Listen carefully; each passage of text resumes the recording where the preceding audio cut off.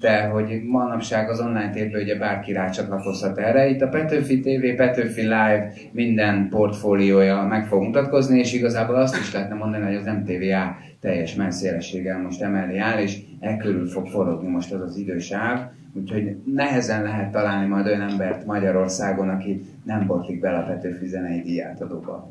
Hát és ez a legjobb hír nekünk. Ugye az előbb már beszélgettünk arról, hogy hogyan kerül be valaki a kalapban, de hogy hogyan lesz valakiből győztes a szavazásról még egy pár szót, hogyha mondanál nekünk.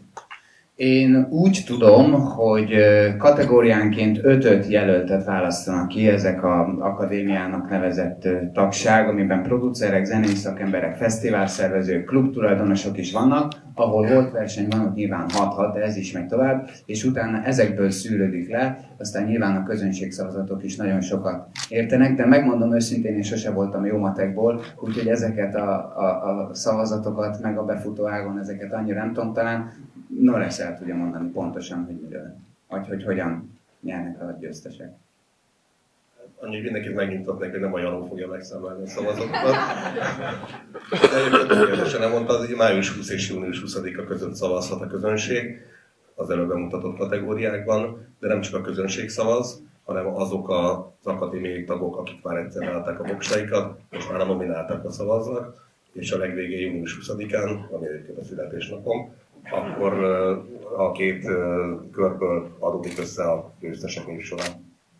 Köszönjük szépen. El se a mikrofon, Norbi, mert hogy hozzád szól a következő kérdés. Ugye láthattuk ezt a gyönyörű díjat, és talán emlékeztek is rá sokan, ugye ez Verebélyi díja alkotása. Ezt veheti át majd a nyolc kategória győztese. Van egyébként egy plusz díj is, ahogy az elhangzott a kisfilmben is. Ugye egy életmű díj, amit tavaly Bereményi Géza vehetett át, idén pedig Damien Ferenc kapja majd.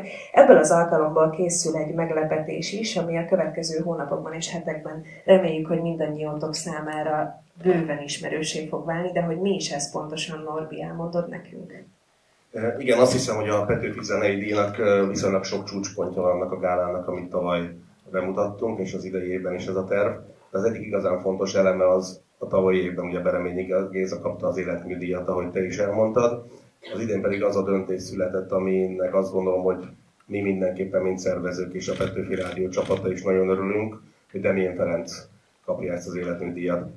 Ebből az alkalomból jutottunk arra az elhatározásra, hogy felhívtuk nagyon sok barátunkat, akik közül nagyon sokan itt is vannak a teremben, hogy egy régi, jól ismert Demén dalt, konkrétan egy Bergendi dalt, ami 72-ben született, mi lenne, hogyha egy All csapat dolgozna fel. Erre egyébként volt már példa, ugyanez a dal 30 évvel ezelőtt egyszer már feldolgozásra került az akkori Popta Iszna című műsor, nem tudom kinek ismerős ez a név főszereplőivel közösen már egyszer feldolgozták ezt a dalt. Nagyon kíváncsiak, hogy mit szóltak hozzá, hogy Závodi Marci az egyébként, akit fölkértem arra, hogy, hogy legyen ennek a producere, zeneszerzője, nem is tudom mi a jó kifejezés. Izgalmasnak tűnik nekem nagyon. Köszönjük szépen, és Marci is itt van velünk, és talán a fent említett poptarisznya idejében te még talán nem is éltél, de lehet, hogy még én sem, de azért nem bocsájtkoznék óriási találgatásokba. Hogyan nyúltál hozzá ehhez a dalhoz, Marci?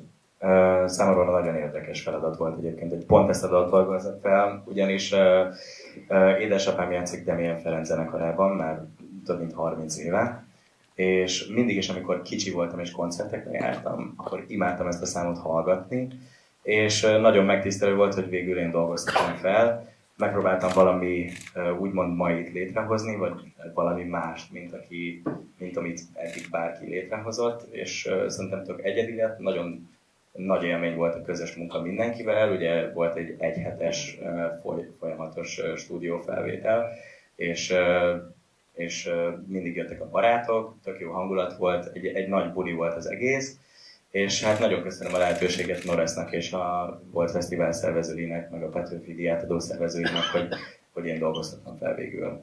Hát nagyon várjuk, nagyon szépen köszönjük. Ugye klip is készült a dalhoz, ami ma reggel került bemutatásra a Petőfi Rádióban, ez a Blind Media munkája, és azt gondolom, hogy képekről beszélni teljesen felesleges. Nézzük meg, jó szórakozást hozzá!